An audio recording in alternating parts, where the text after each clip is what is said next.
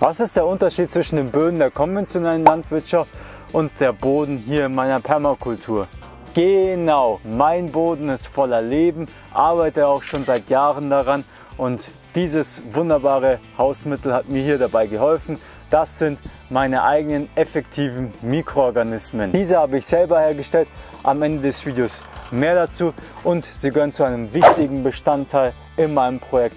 Kurz gesagt, effektive Mikroorganismen ist eine Mischung aus Bakterien, Pilzen und anderen Mikroben, die zum Beispiel organisches Material zersetzen, die Bodenstruktur um einiges verbessern und hier den Humusaufbau dementsprechend fördern. Dadurch können eure Pflanzen viel besser wurzeln, werden auch um einiges kräftiger und diese Mikroorganismen sorgen auch dafür, dass ihr ein Gleichgewicht von einem Mikrobenmilieu in euren Böden habt, wodurch dann auch Pflanzenkrankheiten um einiges reduziert werden. Das ist besonders wichtig, wenn ihr mit Grasschnitt als Mulch arbeitet, denn das hier reduziert die Schimmelgefahr. Und das Pflanzenwachstum wird enorm unterstützt. Wegen der Endozytose, das heißt eure Pflanzen können über ihre feinen Wurzeln auch gröbere Partikel komplett überstülpen. Das gilt auch für diese Mikroorganismen, die nehmen sie auf und dann tut sich die Mikrobe der, dem pflanzlichen Organismus unterordnen und übernimmt da zum Beispiel Aufgaben. Also als Beispiel, die Mikrobe wird dann zur Chloroplaste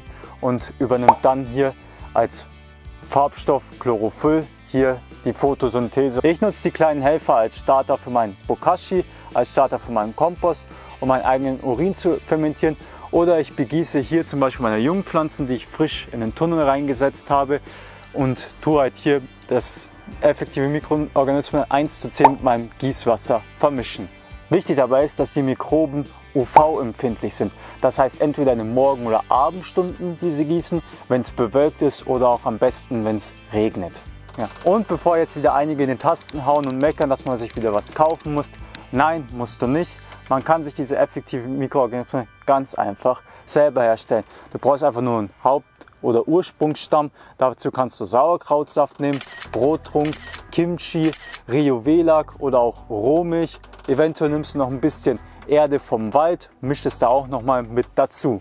Dann schnappst du dir einen Kanister, den du luftdicht verschließen kannst, am besten für Lebensmittel geeinigt, kippst dann hier ungefähr ein Liter von dem Urstamm mit rein, gibst dann den etwas Futter, wie zum Beispiel Melasse oder auch Honig und füllst das Ganze dann mit Wasser voll.